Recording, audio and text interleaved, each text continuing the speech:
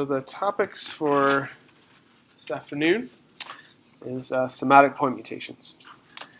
So relative to large-scale structural alterations in the genome that encompass maybe kilobases or megabases in size, uh, this afternoon we're going to focus on the small events um, that are uh, nucleotide level changes, such as this G to T mutation um, that happens to be in uh, in P53, um, which is a tumor suppressor gene, and uh, inactivation of uh, P53 due to mutation uh, allow cancer cells, for example, to evade programmed cell death and, and DNA repair.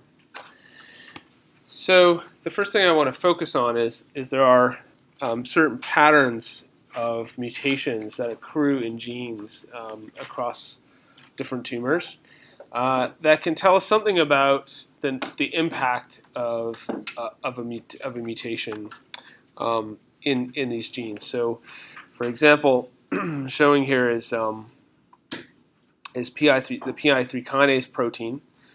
Um, and each one of these glyphs represents uh, a mutation in a, in a specific tumor, okay, a patient's tumor.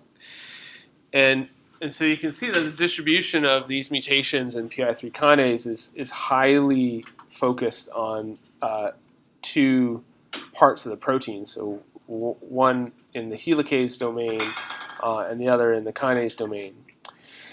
And so when mutations uh, across a population uh, pile up on, uh, on top of each other like this, um, there's a strong indication that there's something important about mutations in those amino acids that will give a phenotypic advantage to, uh, to cancer cells, and so they get selected for independently in different tumors.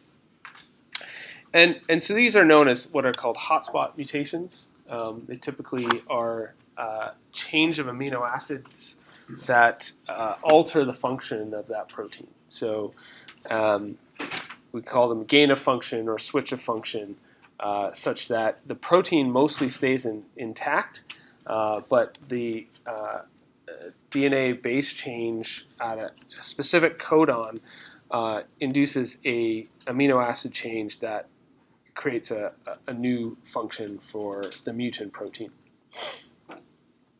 Another example here is IDH1 uh, isocitrate dehydro dehydrogenase in glioblastomas and you can see uh, just how specific mutations that are found in this gene really are. They all happen at the same uh, uh, amino acid location uh, in in the protein. Okay, so these are hotspot mutations uh, that typically result in a change of function.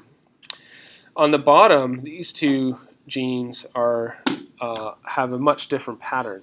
Um, so the missense mutations that um, induce amino acid changes are accompanied often with a loss of function mutations or truncating mutations. So these are mutations in the DNA that induce a premature stop codon in the protein, and so uh, the protein is truncated and often degraded, and, and so it doesn't have its functional, its full functional repertoire. And so, um, so here you can see the distribution of mutations across the RB1 gene um, is is is actually throughout throughout the protein, and that's because uh, there are many many different ways to inactivate a protein uh, through mutation, uh, and as long as the protein is inactivated, and that's the that's the important uh, part of the, the the mutation distribution.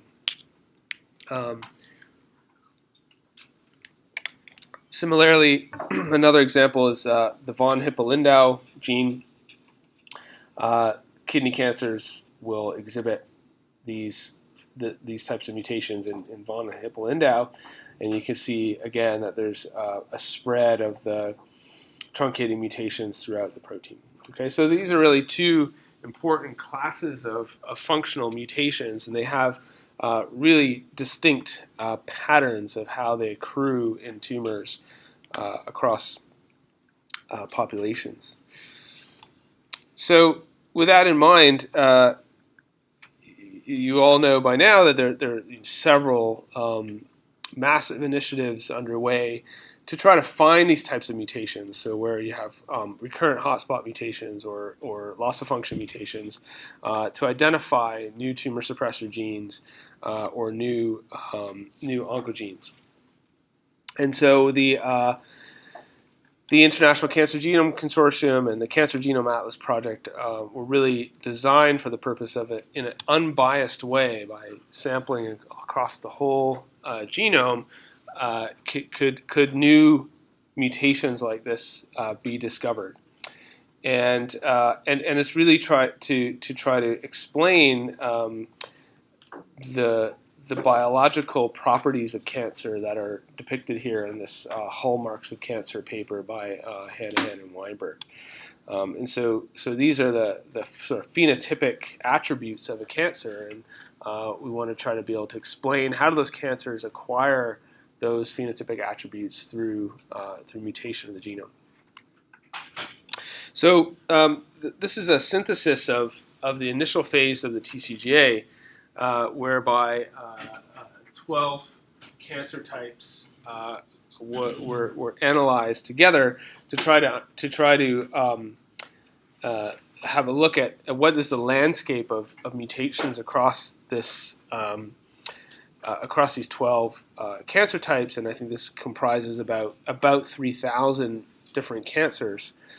And uh, the idea here was to look at genes that uh, were mutated more often than would be expected by chance, uh, and then to show uh, the distribution of mutations across these different um, tissue types. So in this figure, it's, it's probably very hard to read, but um, the genes are the rows, uh, the columns are the tumor types.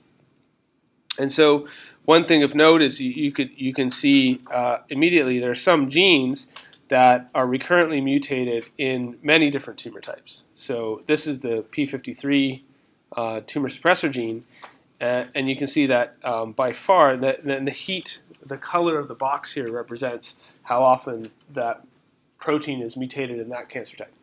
So, so there's a lot of red across uh, all cancer types here, and suggests that um, really P53 is the most uh, heavily mutated gene in, in cancer.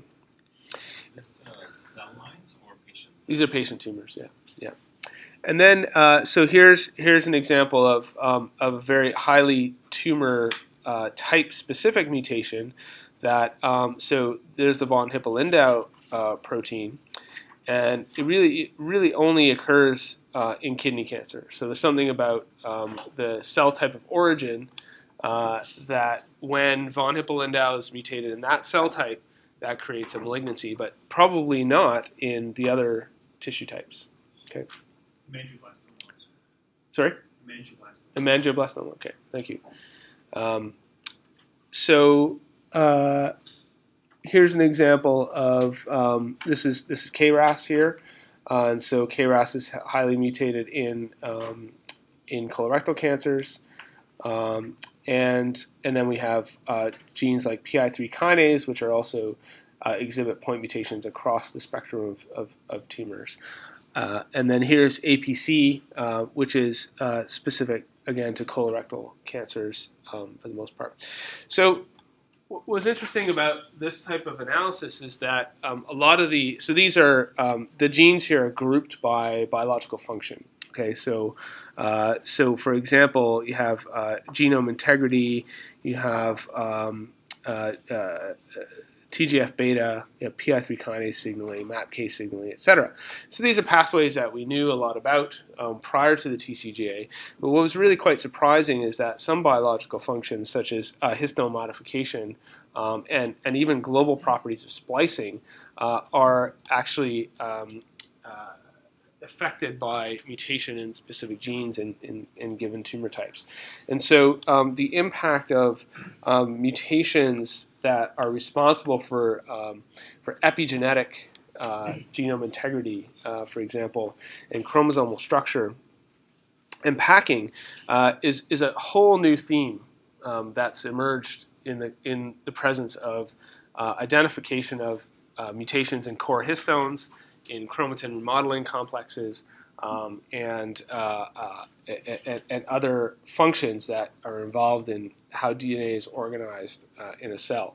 And so this is a whole stream of activity um, from understanding mechanism through to therapeutics uh, that's been triggered by these discoveries um, that really wouldn't have been, I don't think, obvious uh, prior to unbiased screens across the genome. Uh, and similarly for splicing, um, uh, uh, recurrent mutations and splicing factors, for example, in certain tumor types, uh, is, a, is a key result that um, is, has emerged in the presence of these large-scale unbiased studies. Uh, that's oh, that's not pancreatic. That's pan cancer. It means uh, across the spectrum. Oh, so yeah, yeah, yeah. So this is like a, a you know synthesis. Yeah. Okay. So so the probably uh, it's hard to see, but um, P53 probably has the strongest signal there. Just like an average, basically. Yeah. Yeah. Across across everything. That's right. Colors of frequency. The, the, that's right. Colors are frequency within the tumor type. Okay, so um, so in terms of uh, clinical utility, uh, there are there's lots of clinical utility for knowing the status of particular uh, mutation status of particular genes. Um, some mutations will define a cancer. So uh, if uh, we have a high-grade serous ovarian cancer that's lacking a p53 mutation, then we get very suspicious of, of whether it's been misdiagnosed, for example, because it really should be in every case. Um, there are uh, lots of emerging companion diagnostics for targeted therapeutics, um, the most common of which are um, to test for EGFR mutations uh, in lung cancer, for uh, anti-EGFR tyrosine kinase inhibitors. Um, for uh, melanomas, uh, there are tests for uh, specific mutations in BRAF uh, for administration of uh, vemurafenib and, and other um, uh, BRAF inhibitors. In, in colorectal cancer, testing for presence of mutation in, in KRAS codon G12, 13, and, and now actually codon 61 as well, and HRAS and NRAS being added to the list, uh, are contraindications for administration of cetuximab um, in colorectal cancers. And, and there, are, uh, there are a number of other uh, indications and contraindications listed at, at this website here.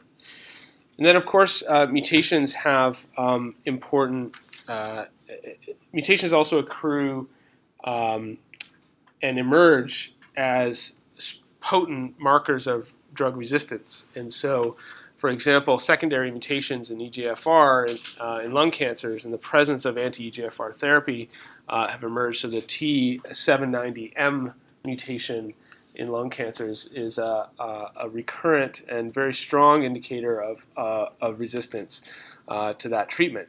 And so now there's actually a, a clinical test that's been um, approved in Europe and I think will soon be approved uh, in the U.S. Uh, to test for T790M uh, as a contraindication for uh, anti-EGFR and, and for an indication to switch uh, therapies uh, so that those patients don't um, don't experience relapse. So it means that if the mutation is present, then the patient likely will, the tumor will not respond to the therapy. So it shouldn't be, it should not be administered in the presence of the, the therapy. That's a contra, that's a contraindication. And then, um, so we talked a little bit about PARP inhibitors and, and uh, in ovarian cancer this morning. Uh, so uh, in, in terms of just standard of care, cisplatin uh, therapy, uh, BRCA revertant mutations are, are, are seen uh, in, a, in a subset of cases whereby you may have a germline loss of function mutation that either results in a truncated protein uh, due to a frame shift. Uh, and in the tumor cells, uh, in the presence of therapy, a new mutation can uh, arise, and that restores the function of BRCA. So, so the, the vulnerability uh, that's being targeted by administration of cisplatin is, is then no longer present in, in in the cancer cells, and so they they stop responding to uh, to those therapies. So these are uh, important mutations that have uh, clinical significance and utility. Okay, so um, so the, the, the, main classes of, of point mutations in the coding regions of uh, of cancer cells are uh, missense mutations, where a single base substitution alters the amino acid sequence of a protein. Uh, so uh, that's a pretty straightforward. So, so of course we know that the uh, the coding of amino acids is organized into codons, which are three uh, three base um, units of the genome, and there are multiple different ways in which a missense mutation can occur within a codon. Um, but uh, but basically that's that's the definition of a missense mutation. A silent mutation is when uh, there's a base change in the genome that does not result in an amino acid change.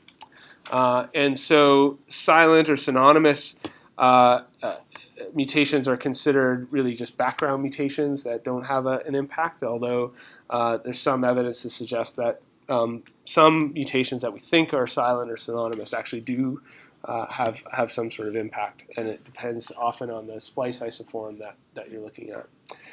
Um, we have uh, nonsense or truncating mutations where a single base substitution introduces a premature stop codon. Uh, and that results in a loss. Of, this is a class of a loss of function mutation, uh, as as is a frame shift, which can be a, a, a, small deletion or insertion that changes the reading frame of the transcript and, and will result in a premature stop codon uh, mutation. And then maybe one more class is not included here is a splice site mutation um, that has a similar effect.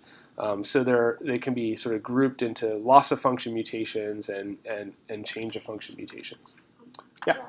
Just a sort of curiosity question, since you guys are doing all this cancer evolution work, mm-hmm. has there been any evidence to show that you can have silent mutations that then because you've made that switch, make it easier to make another switch down the road? Oh yeah, that's a, that's a really good question. So the interaction of mutations and, and the the evolutionary timing of mm-hmm. mutations. Mm-hmm. Um, you know, I think uh, there are a lot of people working on that question. Um, I don't know if we have evidence that that's true, but I think everyone sort of believes that's probably the case. Yeah. So so some mutations might prime um, the cell mm-hmm. uh, for uh, for the eventual um, acquisition of a mutation that then then really changes phenotype, mm-hmm. and and so you have a necessary but not sufficient condition. Yeah, yeah, yeah. yeah. Okay.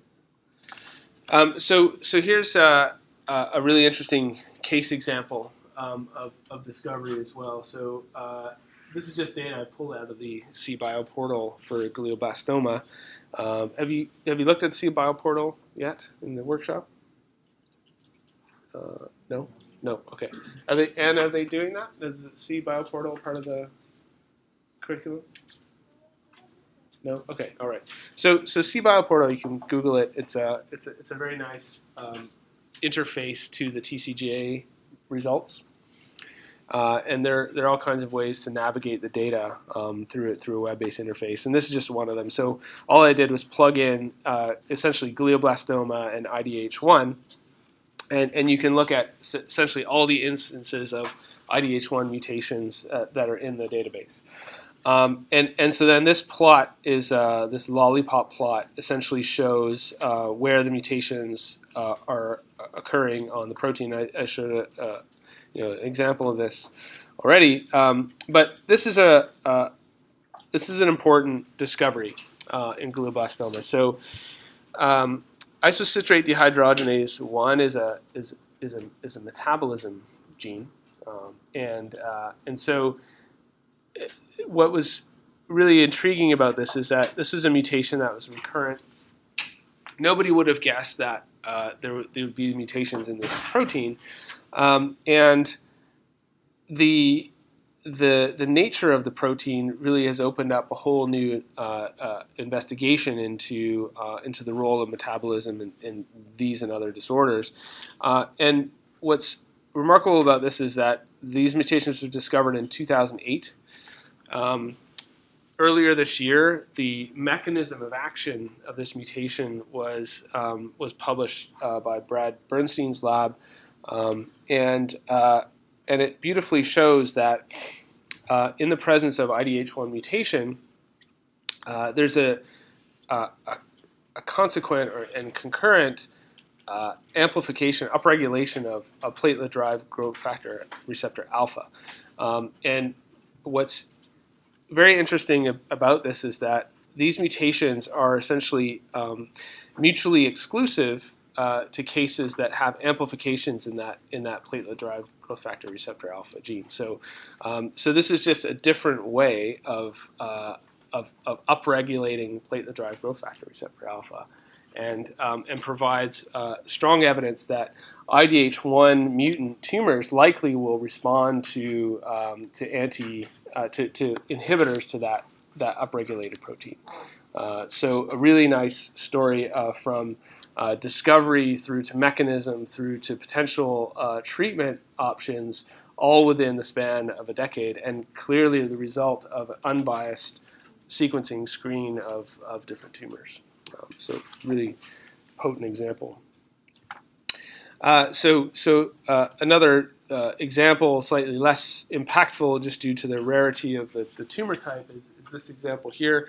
Uh, this is work that um, I was involved in, and um, so we were studying uh, rare forms of ovarian cancer, and um, and we were sequencing actually the transcriptomes of, of these cases, and uh, noticed that um, of our index cases, they all exhibited exactly the same um, uh, C to G mutation at uh, at this particular locus. This is just showing um, uh, showing the the cDNA. You can see that all tumors have this uh, C to G mutation here.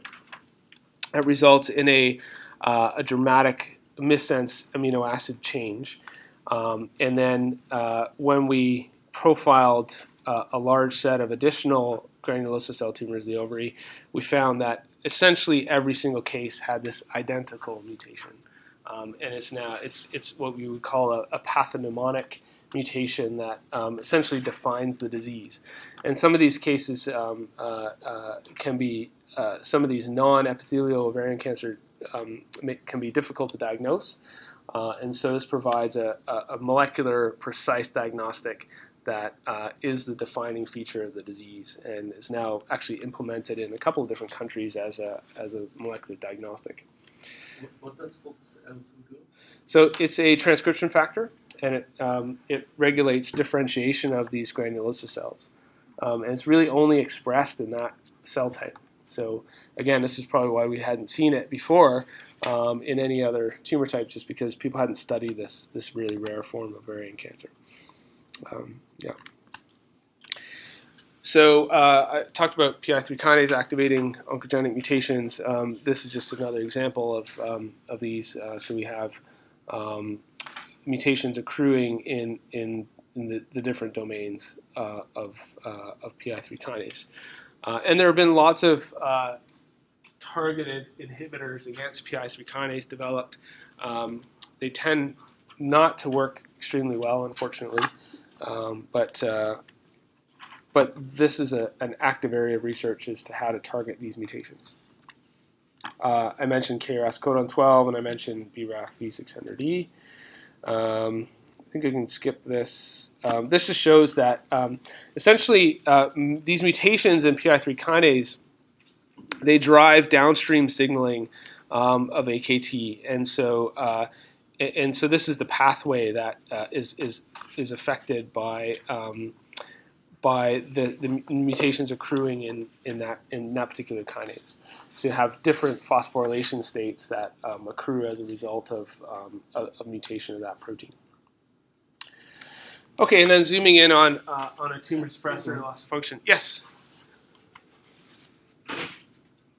That's a theoretical map, right? Uh, well, yes and no. I mean, um, it will probably be slightly wired up slightly differently in every cell context and maybe even in every tumor. Um, but um, this is th this is a KEGG um, encyclopedia of um, uh, encycl encyclopedia of pathways, and, and essentially it's a curated uh, pathway set from evidence based in the literature. So has anyone taken cells that actually have a particular PI3 kinase mutation and seen which of those actually change expression? They have, yeah, yeah. So there, there there's Lew Lew Cantley is the um, probably the the discoverer of, of, of this pathway and, uh, and its relevance in cancer, and he he has dissected this um, pathway uh, quite uh, robustly, and and there are probably um, ten thousand papers on this pathway. I would guess something like that, maybe more. um, okay. All right, so um, this is the pattern of uh, loss of function mutation. So this is ARID1A. Uh, we discussed this this morning.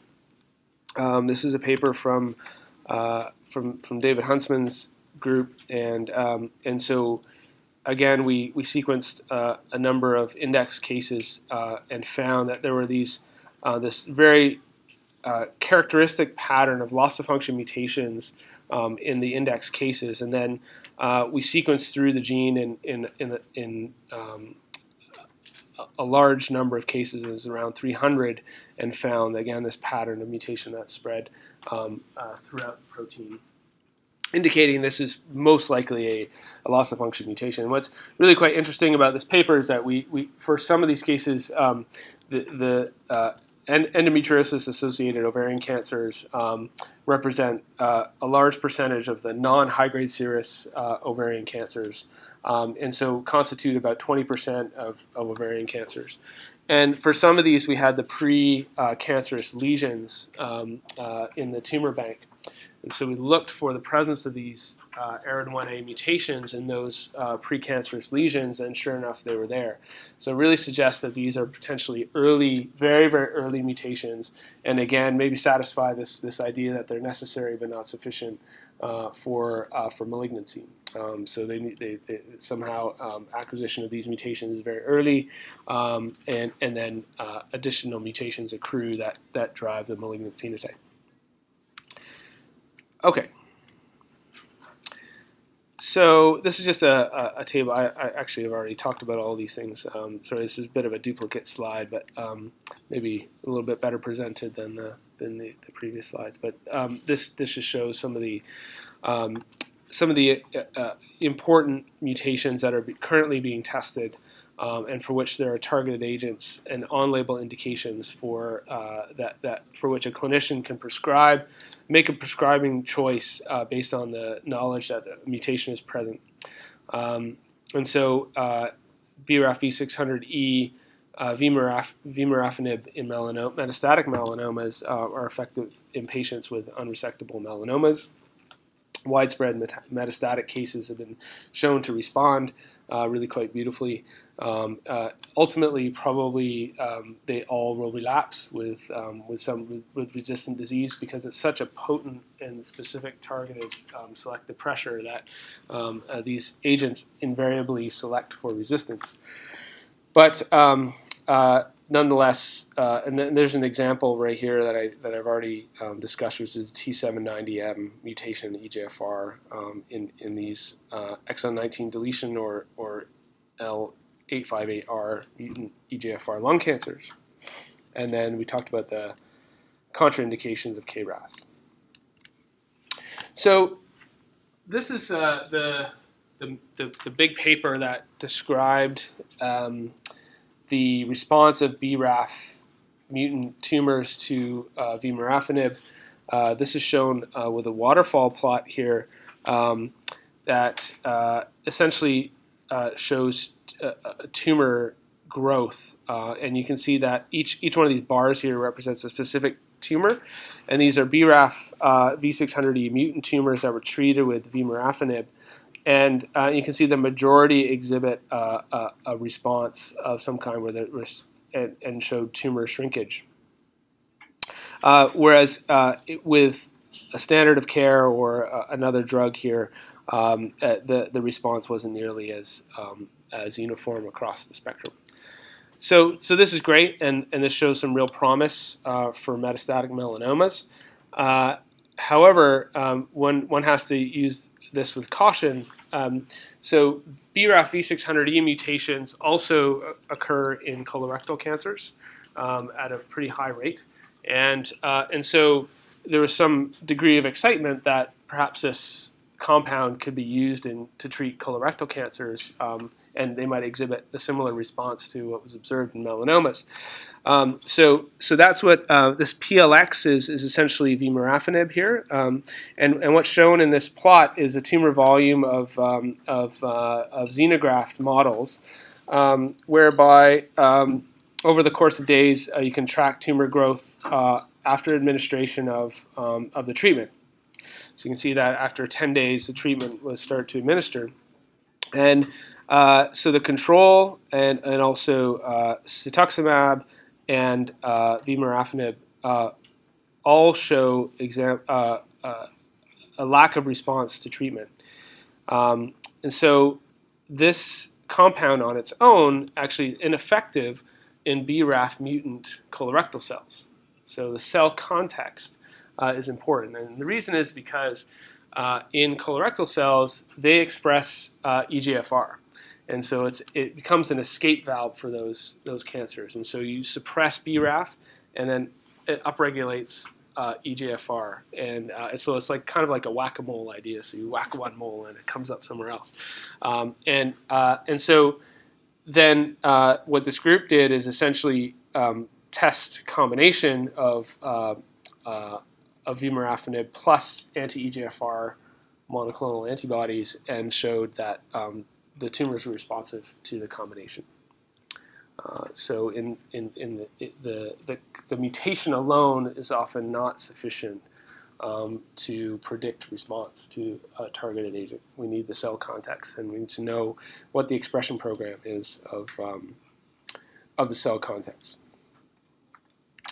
Okay, so, uh, so another uh, relatively new discovery, so 2013, uh, not too long ago uh, was the description of um, mutations in promoters. So these are functional elements of the genome, and so it's not surprising that you might see mutations uh, have an impact uh, if they accrue in the promoters. So prior to this, almost every significant mutation that had been described in the literature uh, was in a coding region of, of, of a gene. Okay. Uh, so this paper um, revealed that uh, both in familial and sporadic melanoma, there were recurrent mutations in these ETS uh, that, that created ETS transcription factors, ETS family transcription factors, um, at these uh, you know very specific loci uh, in the genome. So here's the the start codon here, and so it's upstream of, um, of the start codon in both in both these cases. Uh, and so um, then uh, there was a in the very same issue of Science. These are back-to-back papers. Um, this showed that uh, the the impact of those mutations was to uh, change the expression uh, of particular proteins, and so. Um, uh, so that's essentially what's what's described here. So the mutations are not only recurrent, but they actually functionally impact the expression of those of, of the genes. Okay, so, so that gives me an example of, um, I think, gene-based analysis of mutations. Um, so, but let, us think about now going beyond single genes. Um, what does the, the pattern of mutation across the genome tell us about um, the biology uh, of, of, of the mutations and, and the biology of the cancers? So there are two properties that we can um, ascertain through whole genome or whole exome analysis. One is the mutation rate. So how many how many mutations does a tumor have, and is that some sort of indication of um, underlying um, biology? And the second is the mutational signature. So what what processes may have given rise to those mutations? What are what are the mutagenic proper, uh, processes that are operating in those tumors, and those, can those uh, processes tell us something about um, uh, about the nature of the cancer? So uh, so in, there are really two main efforts in this area um, that are significant, and, and one is uh, from the Broad Institute. This is the Lawrence paper um, uh, from oh, uh, 2013. Something funky about the reference there, but the DOI is here. You can look at the paper here. And what, what, what this shows is uh, a, a, number of important properties of, of how mutations accrue. So this, the way to read this plot is that from the center to the outside represents uh, essentially the abundance of mutations in a given tumor. Each dot is a tumor, uh, a specific uh, uh tumor that's been sequenced. Um, and then around this, uh, this donut, as they call it, um, you can see the distribution of the types of mutations that accrue. So, um, so these black dots are, uh, are melanomas. And you can see that the melanomas are primarily characterized by uh, harboring C to T mutations. So, can anybody think about, uh, and also a lot of the cases are at the outer edge of the, the donut here. So, so what, what what's going on here? Why do melanomas have C to T mutations? Yeah, right. So exactly. So um, so so what UV exposure does to DNA is it uh, creates uh, uh, a deamination of cytosines and, and creates uh, C to T mutations in the genome, and and so uh, these might be um, people that have been exposed to uh, to the sun in in in ways that maybe in, in ozone depleted regions or where uh, they have lots of exposure, and so it's a rapid accumulation or, a, or, or a, an accumulation of mutations due to UV exposure. Um, so how about here? So yeah. So because of UV,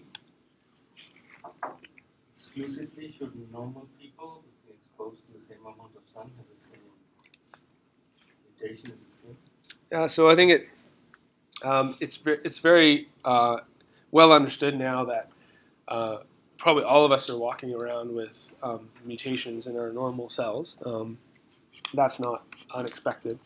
Um, and that there, there, been, there was a, actually a recent paper, um, I think last year, again from Peter, Peter Campbell's group, and they, they looked at um, skin that was removed uh, from eyelid surgery, so really protected um, skin. And even in those cells, um, they harbored a lot of mutations. So you can imagine that other people exposed to UV um, uh, would would definitely harbor mutations. But of course, it's a it's a function of how well you protect yourself if you go out in the sun. So some people wear sunscreen, other people don't. Some people have more natural pigment, other people don't, um, et cetera, et cetera. So. Well, the question goes to how specific is that for melanoma? Well, the same on all of us and get the same. It, it, it's highly specific to melanoma.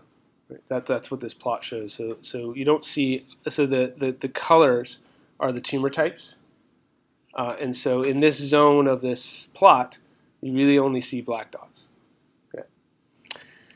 Yes? Uh, within each zone, does the angle that the dots are at, does that mean anything? Um, I think it, it's the relative distribution. Like so, so these ones would have also, uh, you know, TPC. So, you know, so some of the cases, some of the mutations would would would be TPC, and other and and so, but less so uh, C to A. So, so they're shifted towards that. So um, so then we can look at uh, these red dots, and these are uh, lung cancers. So we have uh, lung adenocarcinomas and lung, lung squamous cell carcinomas. Uh, these are C to A mutations, so take a guess what's going on here.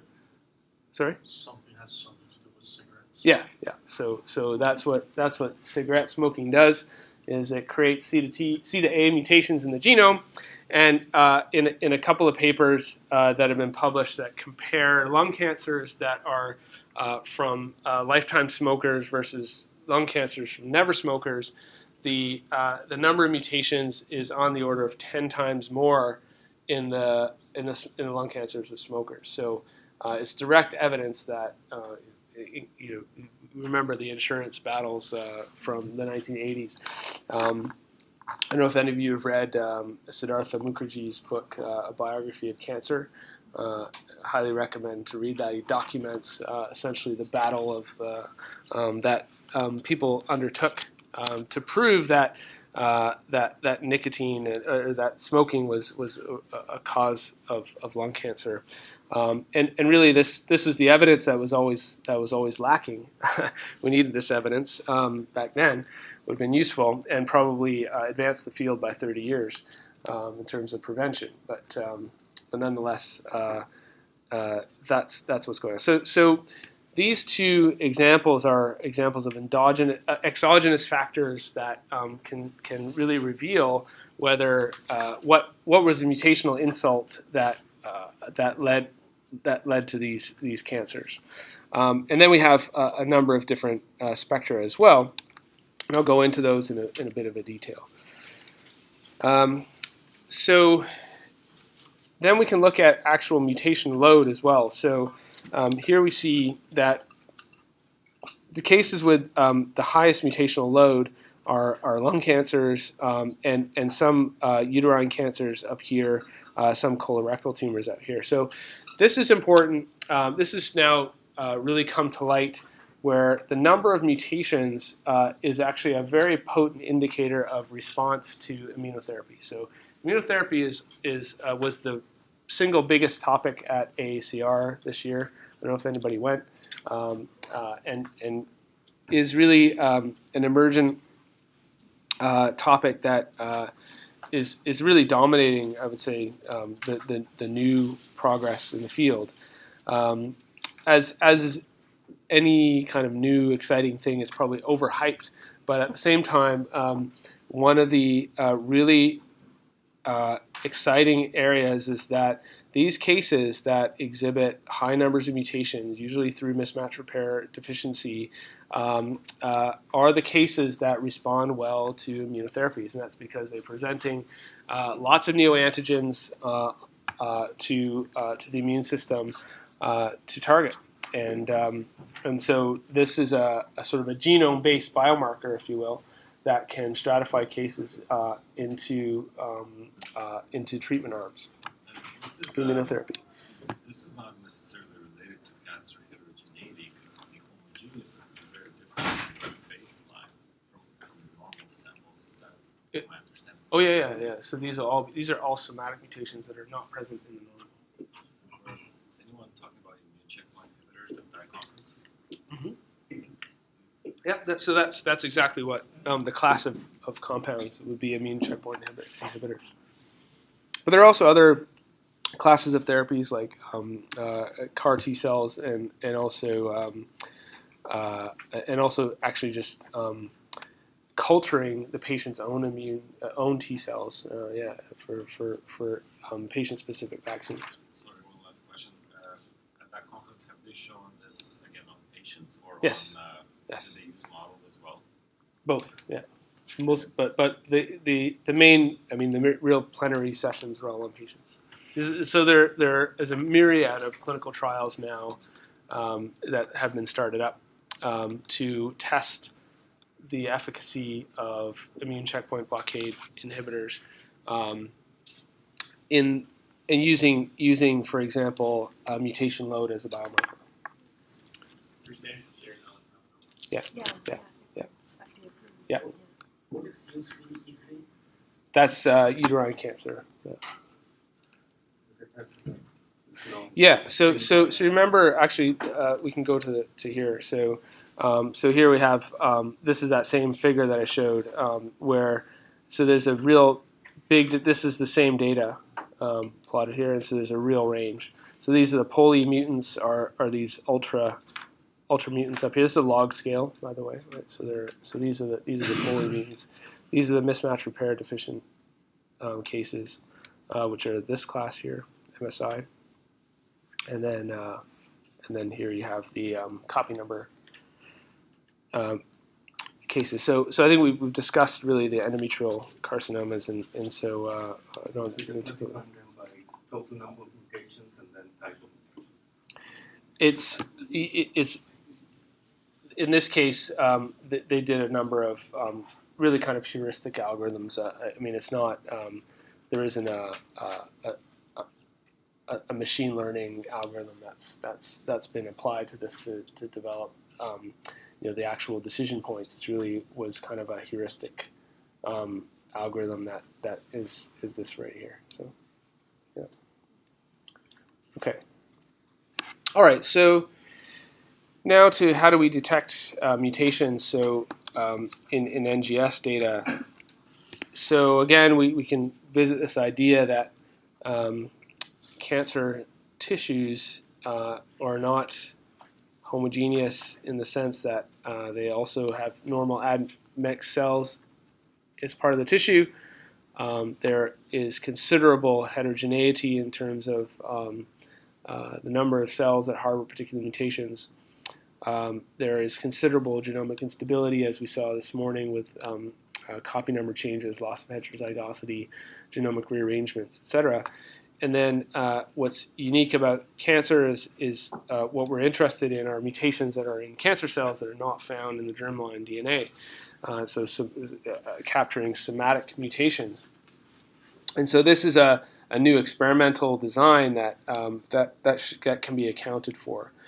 Um, but the, so the main the main process is that um, when we receive uh, data, uh, it comes in the form of, of short reads. These get aligned to the genome. I'm sure you've covered this already. Um, and, and essentially the idea is that we can reduce this, um, this data to a set of uh, uh, allelic counts.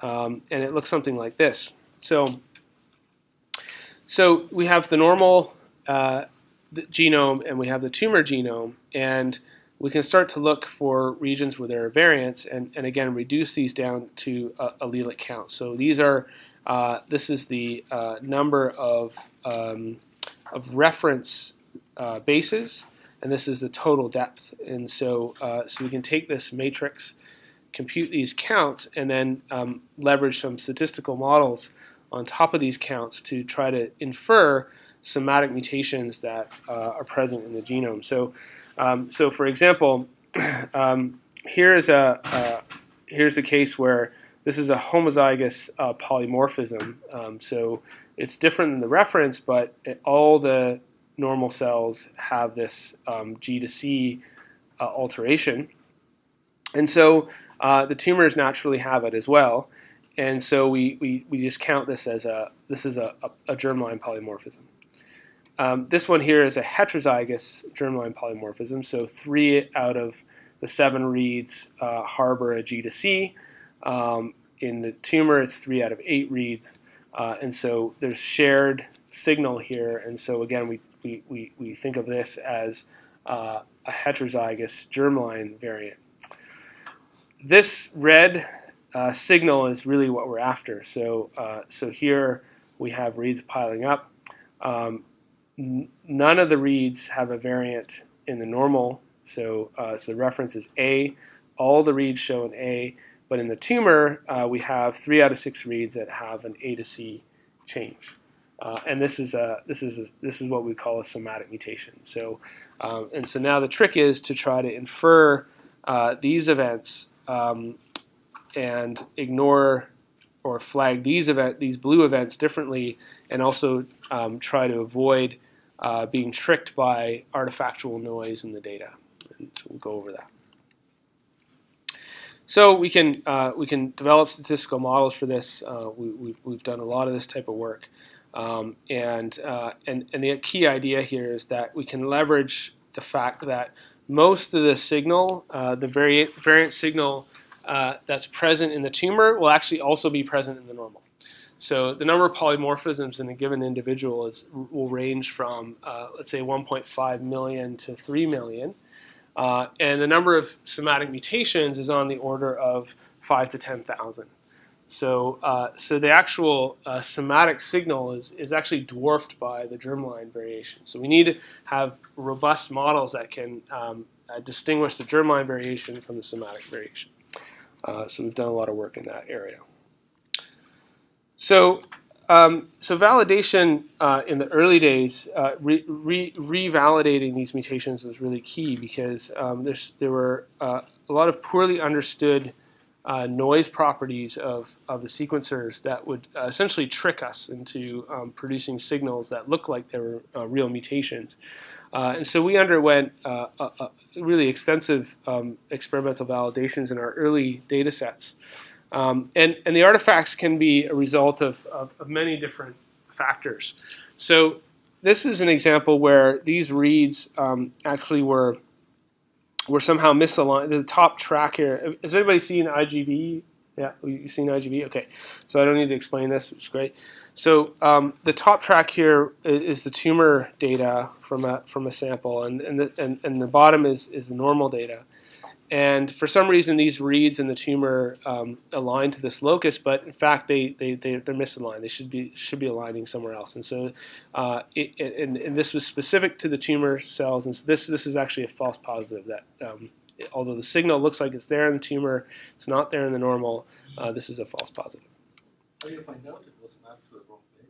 Yeah, so well, we, we actually aligned it again uh, using a, a, a more robust aligner and, and found that it actually should belong somewhere else. Um, Is there a really reliable alignment can make sure that's yeah, so um, it's an imperfect uh, it's an imperfect process at this point because um, the, the the complexity of the problem is such that might have um, a billion reads from a whole genome um, experiment, okay, that need to be aligned to the genome, and so so you have a hundred, uh, a billion hundred base pair reads that need to be finished. So it's a computationally um, uh, massive problem. So each alignment has to be done extremely efficiently, um, and so that comes at a cost of um, of specificity, right? So uh, so that that is that is an issue. So if we could spend more compute time, we would do a better job,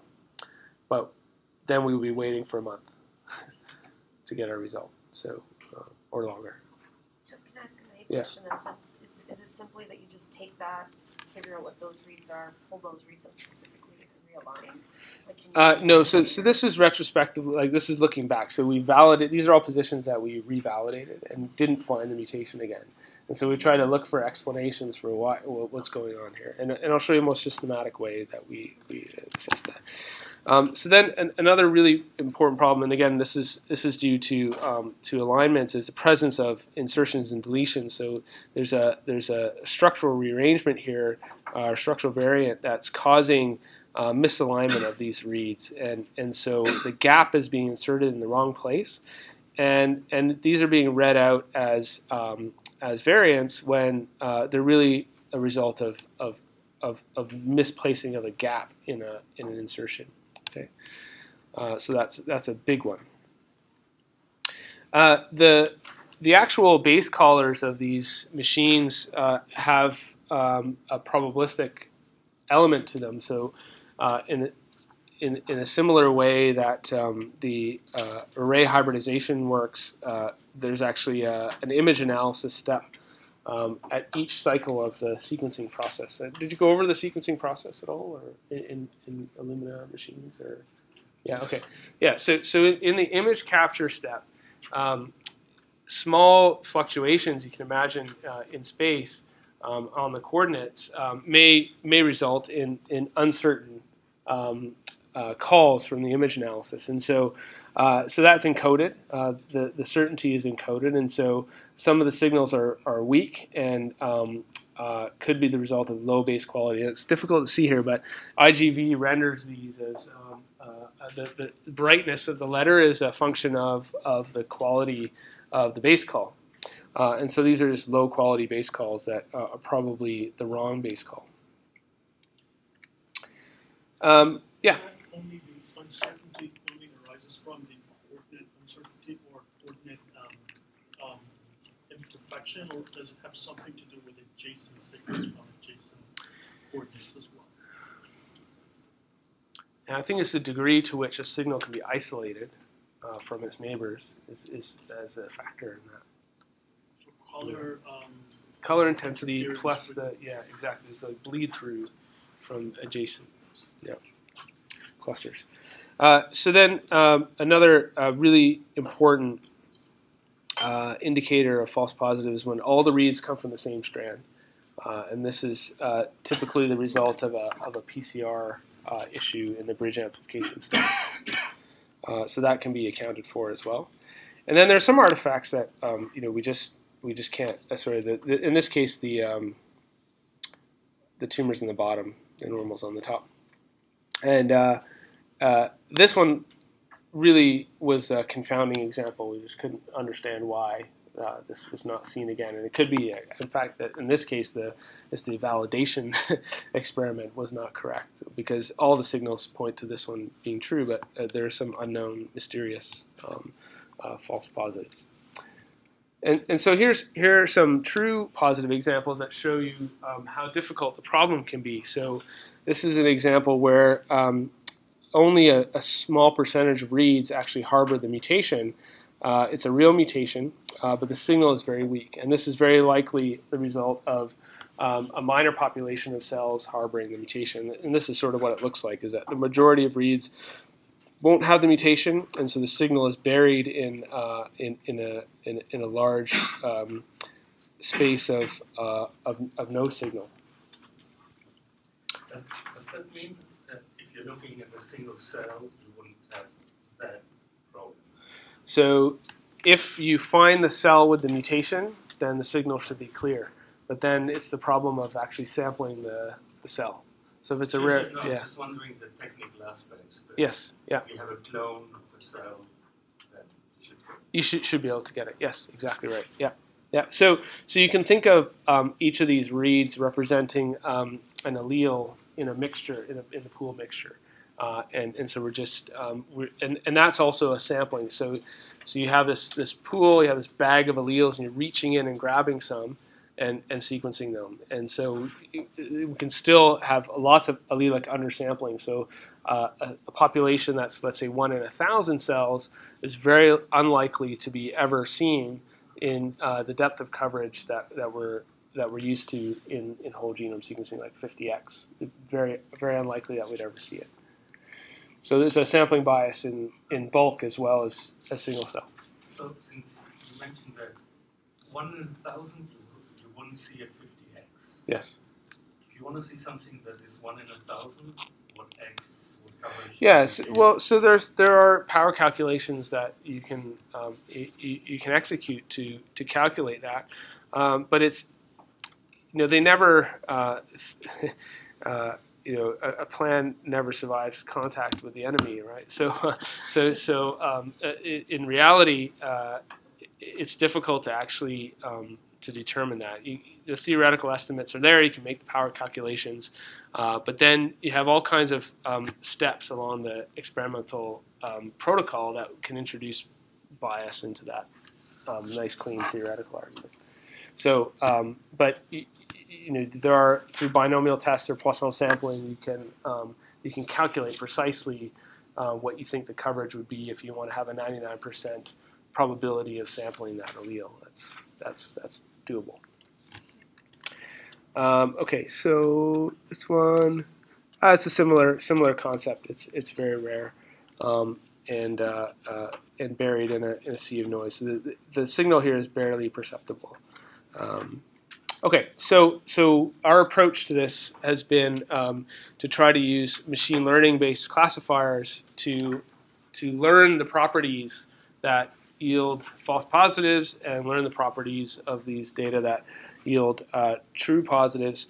Um, and this is uh, a method that called MutationSeq, which we developed, um, which is based on calculating uh, features of the data. So at each locus, we can calculate um, a, a number of different uh, properties, such as what is the average base quality, what is the average mapping quality, uh, whether there are um, uh, presence of uh, nearby insertions and deletions, what is the strand bias, um, and then to borrow strength across the two uh, data sets, we can actually compute combined features, uh, such as uh, you know what is the difference in allele counts between the the uh, tumor and the normal, uh, etc.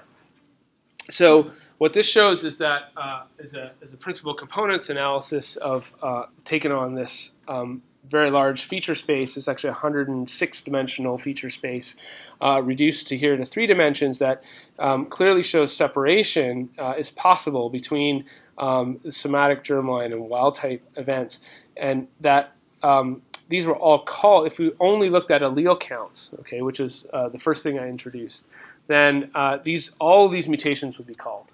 But you can see that the, the majority are actually um, uh, either false positives, these wild types, or they're germline events.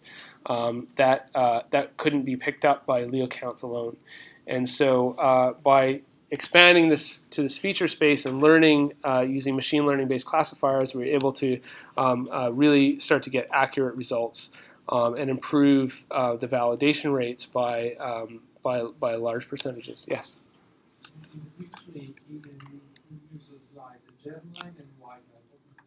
So, so germline is a, is a polymorphism. So there's a variant there, but it's there in both the normal and the tumor. Okay, and wild type means it, it's just basically there's no variant there at all. It, it's a complete false, like it's a complete signal artifact. So, so germlines are true signals, but they're, they're signals that are shared between the tumor and the normal, uh, whereas the wild types are just completely artifactual. Yeah. So it's, you can think of germline as a biological false positive, and a wild type as a technical false positive. When you were feeding the uh, blood sequencing, whatever you're getting through your line to the classifier. Yeah, both both data sets are being fed to the classifier. Yeah. Mm-hmm. Uh, so, so the results of this are, are, are in this paper here, um, and uh, but basically the idea is that um, the the calculating these features and using a discriminant classifiers is a really potent way to uh, eliminate false positives. So this is a receiver operating characteristic curve uh, plotted um, sensitivity against one minus specificity, and um, the ac most accurate you can be is up in, in the upper left corner here. And so it's not perfect, but it's it's much much better than, for example, um, standard tools that um, that don't take these features into account. Yeah, so RF is random forest, uh, Bayesian additive regression trees, uh, uh, support vector machines, and logistic regression. So, so the, the type of classifier is less important than actual just calculating the features. Yeah, which which is actually a common um, result. Uh, the feature calculation in most discriminative classifiers is actually the most important thing. And then once you present the right data to the classifier, any, any reasonable discriminative classifier will do a good job. Um, okay, so uh, yeah, I'm going to skip over this. So okay, so let's move now into uh, what, so let's assume now that we can reliably detect mutations, and uh, you'll use a tool called uh, Strelka uh, in the lab, and and this was um, developed by Illumina, and um, uh, it performs similarly to MutationSeq. We've done a lot of um, over uh, a lot of benchmarking against Strelka. they have slightly different properties, but but more or less um, will produce similar results. Uh, and, and it's a nice piece of software that's um, uh, available from, uh, from Illumina. And so I think, are you doing exomes in the lab? or Yeah, yeah. So you'll, you'll um, actually execute Strelka on a tumor normal exome um, to determine, to, to find mutations. So yeah, so let's say now that we can, um, we can, we can detect mutations uh, so how do we interpret their importance and what are the different properties that we should look for? So uh, the one of the more uh, robust measures of whether a mutation is important is how often does it occur in the in the patient population. Um, now that's not a that's not a strictly straightforward calculation because in fact one of the mo most frequently mutated genes in, in all of cancers is a gene called titin. Um, does anybody know what um, what's interesting about titin? Yeah, so it's a it's a huge gene. So it's got lots of genomic real estate, lots of opportunity to accrue mutations. So one has to normalize against um, against that, and so uh, so a lot of methods, uh, for example, like MuSiC, um, this paper here, have um, ha have endeavored to account for uh, for uh, different properties uh, that would yield mutations by chance. Uh, and so re replication of uh, timing of DNA replication is important. So where in the cell cycle um, the genome is being replicated, um, and also the length of genes, and uh, the, the sequence composition bias, et cetera, et cetera, all, all factor into these calculations. And so, but but um, the basic idea is that if a gene is uh, more frequently mutated in the population than would be expected by chance, and that's a good indicator that that that, that may be an important biological um, gene. Yeah. The timing of replication thing, how, how do they actually determine the timing of replication for each gene? Yeah, that, so so the there are um, cell line uh, based assays uh, that have been determined. So, that, so for different tissue types or different cell types, it's it's been experimentally determined uh, which parts of the genome are replicated uh, at what what along the, the, the, full timing of, of full DNA replication. And so those models can be used uh, and incorporated into, into these types of calculations. So that's incorporating like a gene burden analysis to see. So is it that I mean where it is is it influence the mutation burden just as size would? Yeah. So um, the the issue is that um, at the end of the rep- replication cycle, there are fewer nucleotides left in the pool. And so, towards the end of the re- replication cycle, you get more uh, mismatches that are incorporated as a result of um, unavailable nucleotides. Yes. Um, I think one way to kind of avoid the tied situation would be to look at um, overexpression versus genes that are underexpressed in, in terms of just like uh, transcripts. Yes. Because maybe the mutation is not really doing anything. Yep. That's a great point. So, um, so if you have concurrent RNA-seq data, um, we, one can look at express mutations. Certainly for, for neoantigen presentation, that's that's important. So you want to make sure that that mutation is at least expressed. Um, and then for function, though, uh, it's not as straightforward because um, so through nonsense-mediated decay, um, truncating mutations, for example, uh, can can be um, uh, missed in transcriptomes simply because the transcripts are being degraded. Um, so those are functional mutations that result in loss of expression, um, but you would never see it in the transcriptome because. Uh, Sure, sure, yeah, and so so the um, the, the paper I, I described earlier this morning when I was talking about um, joint analysis of, of expression and mutations essentially leverages that idea uh, in a systematic way.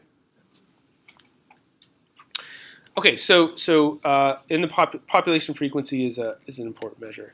One Yeah. more question on this population frequency. Mhm. So, um, I'm thinking actually when a gene, the locus characteristic, physical or chemical characteristics, makes it more prone to mutation, Mhm.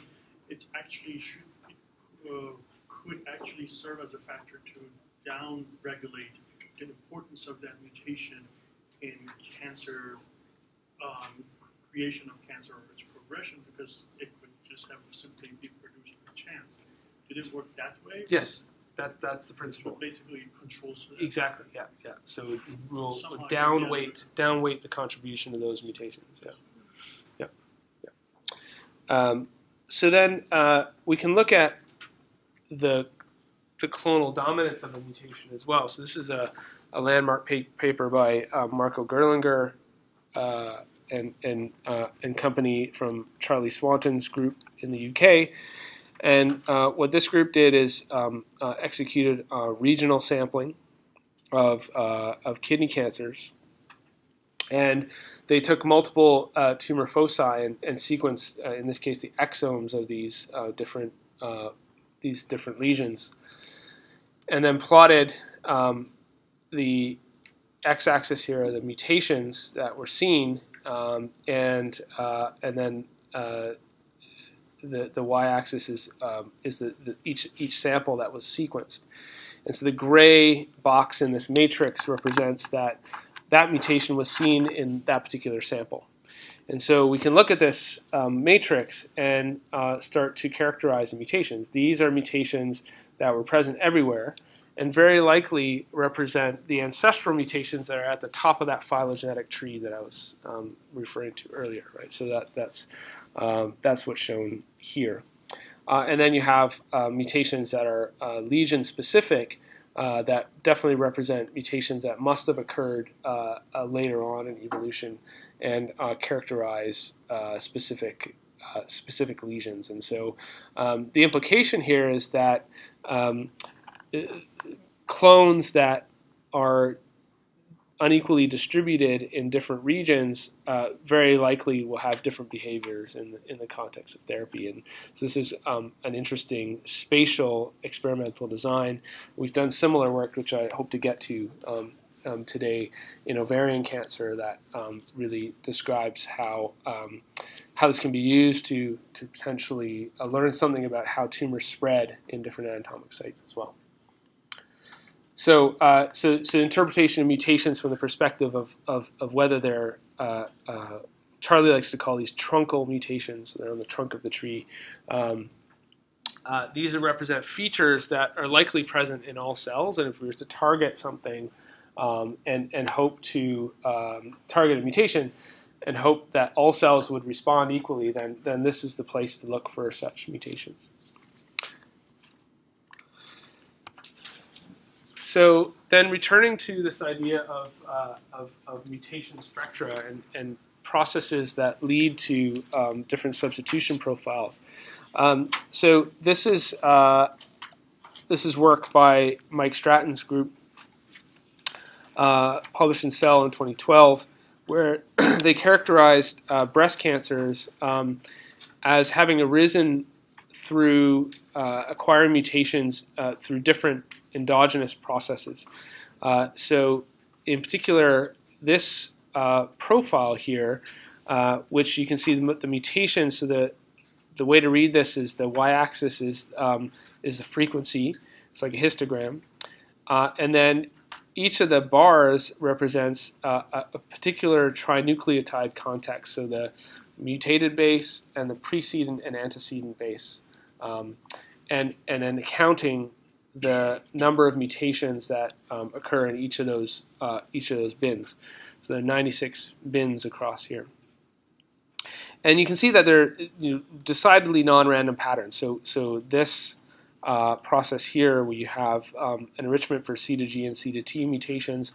Um, this is a pattern that's known to be caused uh, through an enzymatic process uh, uh called deamination through uh, APOBEC enzymes. And so this is a 5-methylcytosine um, uh, deamination process that converts C bases um, to either Gs or Ts.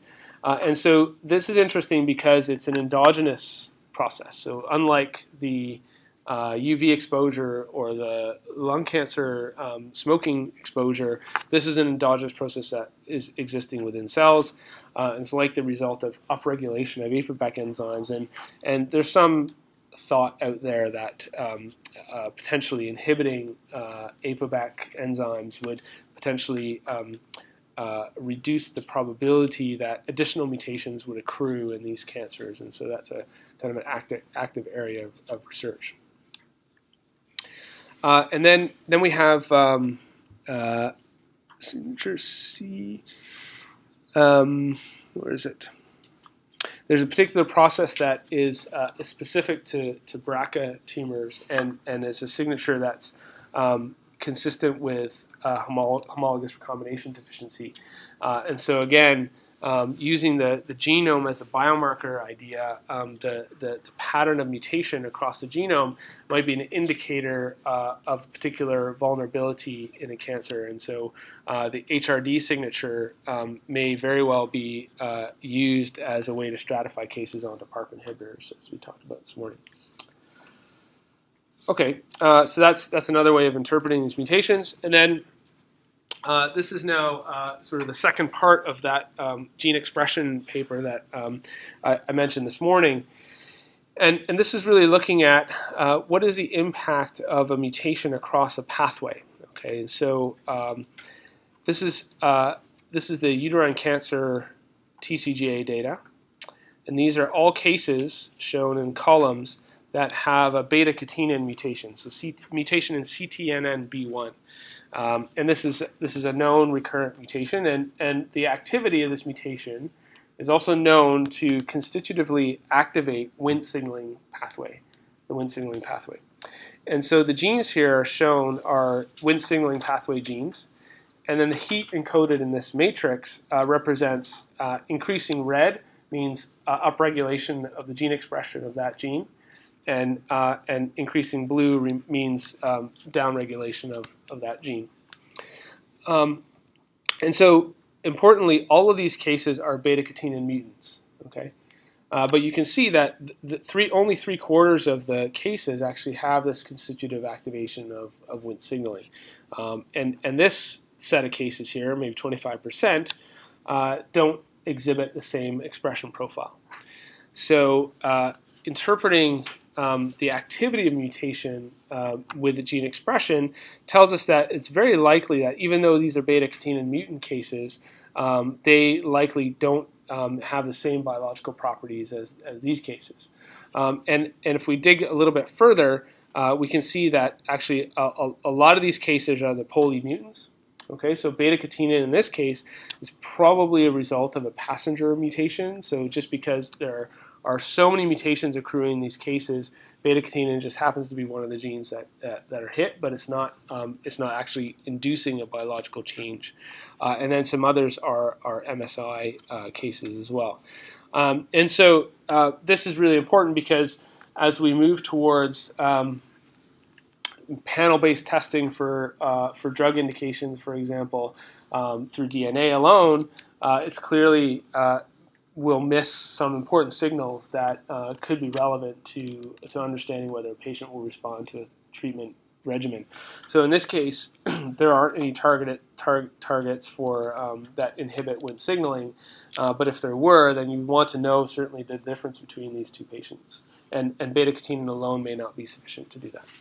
So in the earlier slide, the signatures that you showed as ABC, yeah. these are identical or very similar to Alexandrov it is. It, yeah, it, it is the same thing. Yeah. But he calls them signature one, two, three. Yeah, this was this paper came out just before that. The, the, yeah, I think they're they're very close. I mean, it's the same group, so okay. yeah. Um, so this is actually only also this was this breast cancer specific paper, uh, whereas the uh, Alexandrov was um, pan cancer. Yeah. Okay, so. Uh, some of the available tools. Uh, we've talked about um, SAM tools is a is a is a nice um, set of uh, suite of tools that uh, are, are, really good for manipulating um, data sets in SAM and BAM format. Um, this has really become a standard in the field is, is using BAM format. Uh, and there's an API and, and, it's implemented in C and uh, it's nice and fast and efficient. Um, uh, you may have heard of um, uh, the Genome Analysis Toolkit from the Broad. Um, the initial paper is here. It's implemented in Java. It's a bit slow to run, um, but um, but is nonetheless uh, has uh, some interesting um, properties. Local realignment being an important uh, step that can be executed within GATK. And what that means is that in the presence of those indels that I was showing you, uh, th th this tool can then um, essentially map those indels and then take reads and realign them back to the genome, taking into account the presence of that indel. And so you get much cleaner alignments at those, um, at those regions. Um, Mutect is probably uh, the most widely used um, somatic mutation caller. Um, this is from also from the Broad uh, and has underpinned a lot of the TCGA, um, a lot of TCGA mutation uh, calls and this is just showing a comparison. Um, and they claim that uh, it's very sensitive to low prevalence mutations. Okay, and then here's uh, Strelka. Uh, this is um, from uh, Charles Saunders uh, and um, from Illumina. It shows the workflow. Um, this is our, our contribution, which is MutationSeq. Um, and so we um, we have a standalone Python package and some visualization tools for plotting these uh, trinucleotide substitutions and um, some of the distributions of alleles that we observe. Um, just skip over that. Um, and so it's worth then talking about how do we encode uh, mutations in a format that um, is workable and, um, and so the, the standard format, it's really a community standard. I would say it's not a technical standard. It's a community standard called VCF. Um, uh, is the is the standard, and it essentially contains um, eight tab delimited fields, uh, and the precise definition uh, is listed here at this website. And so you'll learn uh, about VCF in the lab. And uh, what's interesting is that uh, we can compute a lot of attributes about the data, uh, again, which can be used to, um, to then do some post processing to filter out um, uh, events that um, are not uh, that look like they may be um, poor quality. So uh, so basically, this is a tab delimited format where each mutation is represented in a row in this text file, and um, and this you know highly can manipulate it using any a myriad of different tools, including VCF tools, um, is a package, or any kind of um, spreadsheet, or any kind of uh, statistical program that can that can parse out columns in a in a tab delimited file, and um, and so that's the standard. Uh, the this is an example of um, the header uh, for for a mutation. Uh, you can see some different parameters that are used, um, some of the commands that are used that were used to create the um, the, the results file. And you can see the header will always start with uh, two hash marks. And so these are uh, lines that at the very top of the file that will be ignored by any tool that wants to process the data. But it, it gives you a human readable, well, sort of human readable, but uh, more or less human readable um, description of, of what was done to produce the output. Uh, and so these headers are, are, are quite useful. Uh, and it tells you also how to read the info field. And the info field can be um, structured in many different ways. And so this tells you exactly what the different fields in the info field look like. Uh, and so this is what it looks like. So you have uh, chromosome, then you have position, um, and you can have an ID for the, the given position if you like, uh, and that's just represented the, the null um, or default is just empty dots. Um, it's the reference allele uh, and um, and then you have the the quality. I was missing one header here for some reason. I think it should be the reference allele and the alternate allele. Uh, it should be here. There's the the quality score, um, whether it passes a filter, um, and then the info field, which has a different attribute. So here, uh, if we go back here, you can see um, PR uh, is the probability uh, of somatic mutation at that particular locus, for example. And you can read the details uh, in this description. Uh, so here's a here's a list of, of, of tools um, and some visualization tools. IGV is is often used to uh, to just review manually the mutations that are found, and so it's a good practice to, to get into the uh, habit of just reviewing some mutations, especially if you think they're important or you want to follow them up experimentally. Um, it's really good to uh, to validate um, with, with with some degree of visualization. And there are a number of annotation tools. So once you've predicted mutations uh, in this format, uh, and, you just have basically a, a, a list of, of 10,000 variants in a tumor, of, co of course you want to annotate them for, for biological functions. So there are a number of different packages available, um, uh, Mutation Assessor, ANNOVAR, SnpEff, uh, being three of the applications. And um, presumably, following using SnpEff? SnpEff. So in the lab, you'll use SnpEff. So you'll, you'll go through the process of taking essentially raw uh, BAM files, calling mutations, and then annotating them with SnpEff. And you can see that whole process um, manually. Okay, so let's see, how's my timing?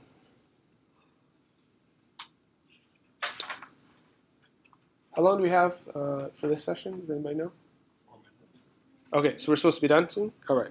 Okay, so um, I'm, I'm going to just briefly show you um, some recent results. So, whoops. Oh. Crashed.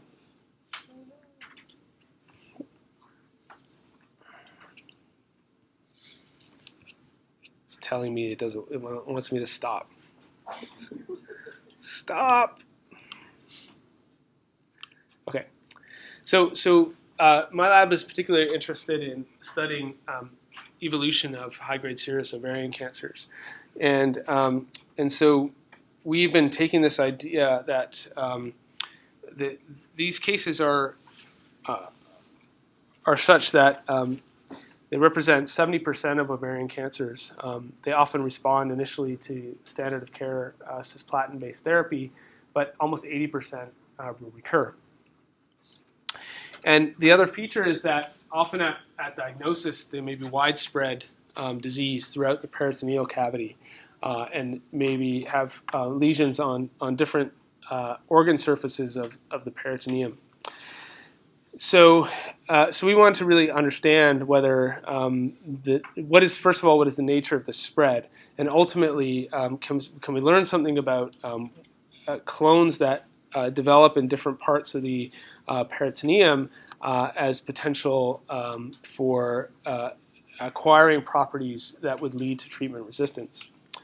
So this is work that was was really spearheaded by by Andrew who did a, a, really a magnificent job of, of taking very complex data and um, and and uh, uh, computing um, over these data sets to, to, to try to infer something about uh, the biology of, of ovarian cancer spread. So what we did is collect um, the spatially sampled um, material at, at primary debulking surgery, and then executed uh, a battery of really deep genomic interrogation uh, including whole genome sequencing, uh, targeted deep sequencing, and single cell sequencing uh, to identify constituent clones that existed in these uh, different uh, regions, measure their abundance, and then map clonal spreading patterns. And so, uh, with you know, I don't have too much time to um, to explain this, but I'll just maybe skip to, um, yeah. So, um, so the, the the key message is that um, here what, what we're showing is um, we can we can infer a clone phylogeny similar to the one that I showed in the very first slide. Uh, and so I showed that for a reason so that we could come back to this idea of how, how is a phylogeny useful. Uh, well, well, so what we can do is once we have the phylogeny, we can then start to measure uh, what clones are present at what uh, which levels of abundance in different parts of the uh, of the anatomy. And so what's shown here is all the different samples that we measured, and and we can see, for example, that um, the the the this uh, this part of the phylogeny was present in this case in uh, in non-ovarian sites primarily. So you have uh, an omentum site here, a small bowel site, um, and then and then also we think that this this tumor actually uh, uh, is a bilateral tumor, and so uh, is these uh, lesions were also present in the left ovary and left fallopian tube. Now, these clones, however, on the other end of the phylogeny, were very specific to the right ovary. And so you can see that in this bilateral disease, the clonal composition of disease, although they're related clonally, actually are quite different. Um, and so there's incredible variation uh, in terms of uh, what con what constitutes the disease. And again, this is all at time of diagnosis. So, so the repertoire of clones that's present at diagnosis unequally distributed uh, in anatomic space. And, um, and then uh, we think that this all emerges from uh, a single diverse site uh, that, that is characterized here by the left ovary that has representation uh, from both parts of the phylogeny. So, um, so the green bit and the yellow bit. So there may be a site that's permissive to lots of diversity, and then everything radiates out from there. Um, so uh, one last anecdote, and then seven. Uh, so uh, it just came out. Uh, sorry. surgery, basically sampling all around the peritoneal cavity as surgery Correct. Yeah. Yeah. So so it, it's essentially um, there was no uh, specific uh, collection protocol. It was um, we we tried to uh, study all specimens that were uh, extracted and labeled um, at the time of debulking surgery. Yeah. Uh, and so so why is this relevant? Well, um, so what here's a, a case where um, we had a, a temporal uh, sampling whereby um, we collected samples at the time of diagnosis, uh, there was a, a, first relapse and a second relapse. So, so there's a brain metastases here, and then uh, a, secondary relapse back to um, back to a, a uterosacral region. And so uh, this sample here uh, at the time of diagnosis is actually um, diverse and represents, you can see that there are constituents um, from this part of the, the phylogeny and then also a yellow clone and a, and a pink clone. Um, and this is significant because um, the first relapse uh, is, is composed entirely of this green clone, all, present at diagnosis already. Okay, so, uh, uh, but not the yellow or the, or the pink. Whereas uh, this relapse here is characterized entirely from, uh, from this part of the tumor. So, um, so all the clones that actually characterize the relapses in this case, the resistant clones, were present at diagnosis. We can learn something about um, what gives rise to resistance uh, at diagnosis, and we may be able to intervene in a way that would prevent those relapses in the first place. This single cells, you pick up We, we did do single cell sequencing, yeah. Yeah. Okay, so, uh, so I think that's it. Um, it's been a, a long day. I should acknowledge a, a number of people here whose work I presented, uh, uh, some of whom are in the room, Fong, Andrew, uh, uh, and um, a number of the students in the lab, and, and a lot of the funding that um, uh, underpins the, the work I do, and, and also, of course, I think we none of this work is possible without um, without the patients uh, who are involved and donate their samples for research. So um, it's important to acknowledge that as well. And uh, thanks for your time and uh, your attention and your questions. And I'll be around for a little bit, and then I got to catch a plane. So fire away with your questions. yeah. Yes. Um, I'm just curious, how did you get this idea of studying um, taking different samples? And was there a case? Yeah, so so um, so I had done some work in uh, sampling uh, breast cancers over time.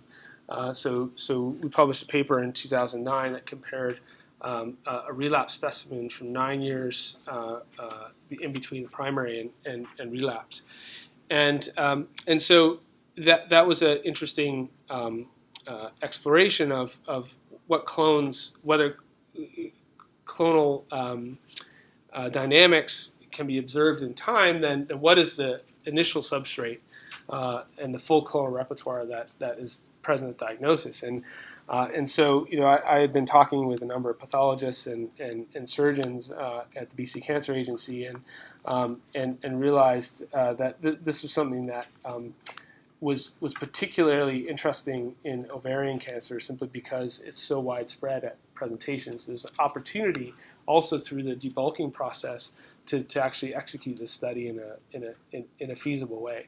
Uh, so the material is there. Uh, it just needed to be collected and frozen in a way that was um, amenable to study.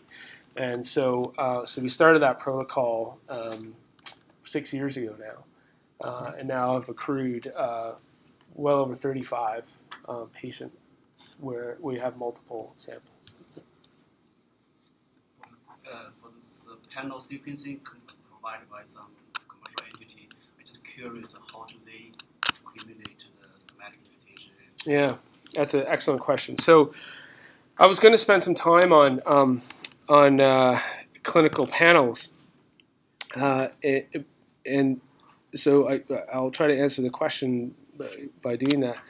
Um, so there, there's a spectrum of offerings from commercial labs. So there's a- uh, from right from hotspot mutations, uh, where we're only looking at these gain of function mutations, for which there are targeted inhibitors, highly actionable but minimal genomic real estate, so, so very cost-effective assays.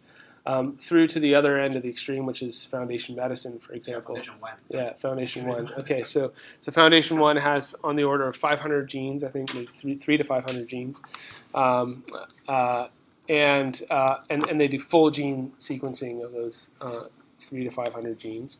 Uh, it's, it's a much more expensive test, so it costs on the order um, anywhere between three and five thousand dollars uh, per test, and so it's a it's a cost point where the system can't wouldn't be able to bear that. Certainly in Canada. yeah, Um, they use tumor only, not, not and- normal tissue. and so that that's the other um, that's the other thing that's important is that um, in order to uh, effectively administer uh, these tests within the clinical workflow, uh, the pathology workflow, you would know this. um, uh, FF, it has to be on FFP tissues, and, and normal DNA just isn't available. So so it's not standard of care to do a blood draw uh, for this type of testing, and so so often a source of normal DNA is just not accessible. And then the tumor tissue itself is, is formalin fixed paraffin embedded material usually. Sometimes worse than that, fine needle aspirates or um, other poor quality material. Uh, and so these assays have to work on this very, very suboptimal material. Uh, to do this study, uh, this is like pristine material that's cryopreserved. Um, it's, it's meant to be uh, studied uh, rigorously with, with, with, um, with DNA-based assays. But, but in morphological, uh, in histological diagnosis, what's most important is, is, is, is preparations that preserve that, that cell shape. And so that's what's available in the clinical workflow. So Foundation One, uh, we have a company called Contextual Genomics that uh, also works off of FFP, um, and, and there are a number of other offerings. There are probably about 30 to 40 companies in the space now uh, across North America and Europe that are offering these, these panel-based tests. Um, and, uh, and they have uh, they, they, they, cross the spectrum from maximum actionability uh, of results uh, so where only on-label indications are used, all the way through to um, to, uh, to, to full gene testing, where the majority of variants that come out would, would not have an actionable um, uh, uh, an action that can be taken by the clinician, and so the interpretation of those mutations is very difficult. So they will search against all of this again actionable mutation and selectively report some of Yeah, so there, there are there'll be different classes of mutations that are reported. So the actionable mutations will be reported for, out first, where they're on-label indications like or contraindications like KRAS in colorectal cancer. It's you know standard test. right? They've individually verified the mutation by like using blood or. Oh, I see, I see. And no, so so part the algorithm is usually part of the certification. Um, so the a- analytics is, is part of the um, the certification of the assay, and, and and so that's usually done through proficiency testing and through um, uh, sample exchanges between different labs. So so you have orthogonally annotated samples, so you know the mutations are there, and you, then you perform the test on those samples. You make sure that those those same mutations can be recovered, and that there isn't there aren't a lot of extra mutations that um, the other test didn't find. So there's um, there, there's proficiency and um, and analytic validity that needs to take place for that test to be accredited and used in clinical practice. The still those open source uh, tools, right? No, sometimes uh, no, no. Sometimes they're pri- proprietary. Sometimes it's a mixture. Um, it's uh, it, it's a lot of, and it, it, in many ways, it's still an evolving. Uh, it's still an evolving field. The informatics is not yet stabilized, nor is it uh, uh, certifiable in the in the ISO type standards that uh, would usually be um, administered for other diagnostics and, and devices. VAAST fast annotation tool we have commitment on that. They claim to be the best in Yeah, yeah, so that's from MD Anderson, right? Is that that? That's in Utah. in, oh, in Utah. Okay, I'm sorry. Yeah, yes. Um, uh, I'm not familiar with it. No. Yes. So I brain in the uh, last slide. you had. Uh, so you had some some presumably tissue from brain metastases. hmm Yeah. So. How do they compare to the other? Uh, so, so the brain um, was composed entirely of this this clone here. Um, this and and the others were um, composed of like so. For example, the left ovary site, uh, it's completely um, i- i- yeah, complete separate. Um, also, in your uh, machine learning uh, stuff that you were presenting a bit earlier, what was your target class? How did you train? Oh yeah. So uh, so what we, we have done is um, we validated uh, on the order of, of three thousand mutations in the initial experiment.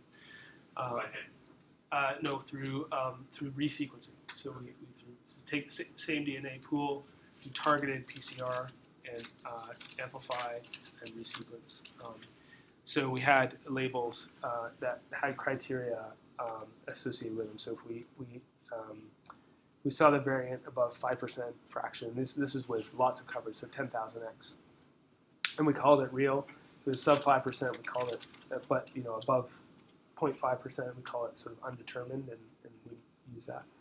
Uh, and if it was zero, then it would be wild type. What's the status of microRNA?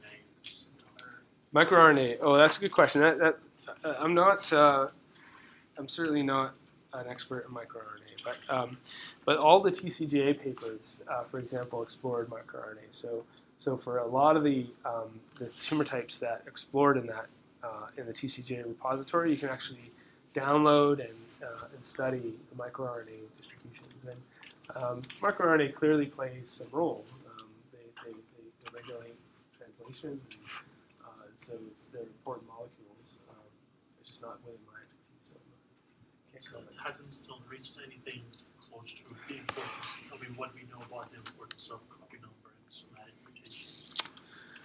Well, so microRNAs can be affected by copy number, and they can also be affected by mutation.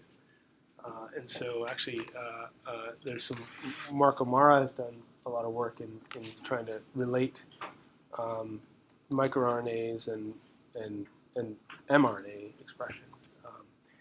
Uh, and there's there's some um, some work in that area. But what I was trying to, um, I probably should ask it differently, These- these mechanisms of, um, adding to the function or silencing uh, a tumor suppressor gene or, or an oncogene, you know, all these mechanisms that we went over. Um, I, my understanding is that we know a lot more about, or we can currently explain tumorigenesis a lot more with those mechanisms than by, um, uh, control of transcription. I- I- think it's a fair statement. Sure. Yeah. Um, I think it's probably just because it's underexplored. Um, and, and I would make a similar comment to methylation and epigenetics uh, as being um, clearly fundamentally important to um, to the biology of cancer cells, uh, but uh, but are now now beginning to be um, explored in, in rigorous and robust ways, and we learn a lot. Um, and then you know it's not and then th- there's a whole other dimension which is learning how cancer cells interact with the microenvironment so the non-malignant cells you know, I've, I've referred to these non-malignant cells as a bit of a nuisance when uh, statistically interpreting mutations but in fact of course they have lots of biological influence on on, on the on the malignancy itself uh, in terms of immune surveillance in terms of stromal um, uh, uh, epithelial crosstalk between cancer cells and, and fibroblasts, and et cetera, et cetera. So, yes. When they have the mutation plots and you show the like the Alexandrov things, are those synonymous and non-synonymous together, or are they're just focused Yes. on? Yes. Yeah. So they're typically um, all mutations. So, so the best way to do that type of analysis is to look at all mutations in the genome because you have more statistical power, and, and, and because you're chopping um, all the mutations into bins of into 96 bins, you want to make sure you have enough representation across the whole spectrum to for the pattern. And then the mutational signature, I mean, how did how did how do they know? Like these 19 signatures, I didn't know which one. Like you have lung cancer, but you know bladder cancer, the most is lung is uh, tobacco related as well, Right. Right. and that's not in the same cluster. Okay, that, I didn't realize that. Yeah, um, yeah, I'm not sure about that. I can't, can't answer that. And the last question: Mhm. in, in multiple cancers, you have debulking, which improves outcome. What Mm-hmm. do you think, hy- hypothesis-wise, do you think the benefit is there, decreasing the just availability of resistant clones? Oh yeah, I, I mean, I, I think um, there's no doubt about it that one of the most confounding factors is is minimal residual disease after debulking. So, so if there's parts of the disease that can't be extracted, um, then that, that is a factor in, in terms of relapse. Uh, and so, so um, effective surgery is going to be a very potent indicator of of of, the, of relapse. I think. But even in the setting of metastatic disease, Yeah. which we do with several different. Well, in, in metastatic disease, um, I mean, it's th- that's inoperable typically. Um, so, but are you talking about in ovarian cancer No, or? or I, I do kidney cancer. Okay, We okay. debulk all Okay. the time. yeah. Okay. So kidney or ovarian or Yeah. any. Yeah. In the, in the So you remove the primary, but you still have metastatic disease elsewhere. Yeah. So uh, sure. I mean, uh, it's uh, metastatic disease is, is, is the problem. that is the problem that um, people succumb to metastatic disease. So um, being able to treat metastatic disease is, is probably the, the fundamentally most important challenge. Yeah, agree. Yeah. Yes. In the um, high grade ovarians in the cancer article, where you did single cell analysis, um, one, how many samples were analyzed and how much was the success rate of capturing viable cells in the microfluidic chips? Yeah, that's a good question. So, um, so we did, we looked at three different patients and multiple samples for each of these patients. Um, in total, I think it may have been 10 and some odd samples. I can't remember exactly. It's documented in the paper. Um, and so what we were able to do is across those, uh, that number of samples, uh, we captured 1,600 cells. Um, and, uh, but then each um, assay was patient specific. So, um, so we, we, we picked mutations that uh, we wanted to resolve essentially at the single cell level. Uh, and so we did a, um, uh, the Fluidigm access array uh, that we used at the time was 48 by 48. So 48 cells and 48 lo- loci. Uh, and that's the dimensionality of the data. And so uh, there was definitely variability in um, the efficacy of uh, in capturing specific loci. So some loci just dropped out completely. We didn't get any data from, so that's, that's a PCR failure. Uh, it didn't work. And then some cells were also complete duds. So, uh, so we had uh, captured material, and the cells actually went in the wells, but didn't produce any any product. Uh, and so, so these are some of the, the things that happen. So across both dimensions of locus and cell, you can get um, uh, uh, no data, uh, partial data, um, and so it's a, it, it creates a missing data problem from a statistics perspective. Do you have the approximate percentages? I It, it, I think it's it's highly yeah. right? So it's it's highly dependent on uh, on the on on the tumor. So um, so some tumors disso- dissociate very nicely, and um, and it probably has some. There's probably a biological property there, um, and others don't. And so um, in in this case, we did actually we did nuclei, uh, and um, that seemed to work best for for these tissues. Uh, but then you have the risk of the nuclei are no longer protected, and so uh, so they can degrade as well, and, and, and one can run the risk of not getting good product out. So it, it's still I, I don't think there are specific answers I can give you. Um, it, it was variable from, from sample to sample and from case to case. Some sample some samples we had to try repeatedly and repeatedly and, and just never got to work properly, whereas the other samples worked on the first time. So there's something there's a property in the tissues that probably um, give rise to that, and but we don't know what it is. I mean, the lack of getting good cells and I mean, at least what I'm trying to understand is breast, pancreas, when You don't get all the wells, I mean, viable cells in all the wells Mhm. of the microfluidic chips. Yeah. Thereby resulting in a lower cell yield. Mm-hmm. Sure, and it could be you know, une- unequal sized nuclei as well. I mean, that, that, that could be what's going on. All right, I